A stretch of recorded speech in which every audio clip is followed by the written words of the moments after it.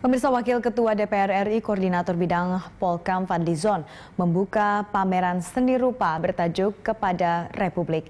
Pameran seni itu digelar untuk ketiga kalinya di Kompleks Parlemen Senayan, Jakarta.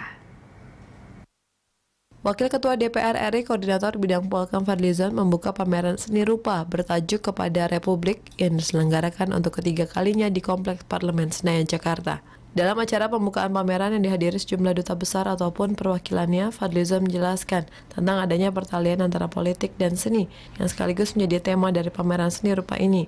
Fadlizon menekankan seni bisa menjadi alat pemersatu ketika politik sudah terlalu melelahkan. Kan pameran kepada Republik ketiga ini adalah pameran seni rupa yang ketiga yang kita selenggarakan setiap tahun dalam rangka Hari Kemerdekaan dan juga HUT DPR. Kadang-kadang kita juga ada pameran lain seperti pameran lukisan dari kalangan disabilitas juga sudah kalau tidak salah sudah dua kali kita selenggarakan di sini.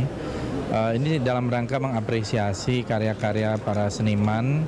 Kurator pameran seni rupa bertajuk kepada Republik, Dio Pamola menjelaskan karya seni rupa Indonesia memiliki kekhasan yang dipandang oleh publik internasional sebagai sesuatu yang unik.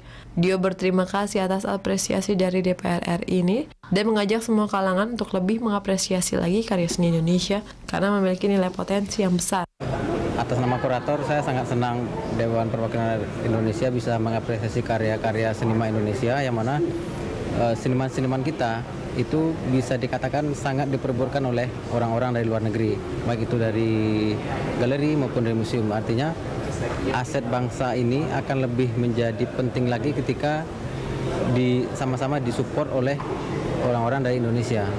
Ardi, Bani, TVR Parlemen melaporkan.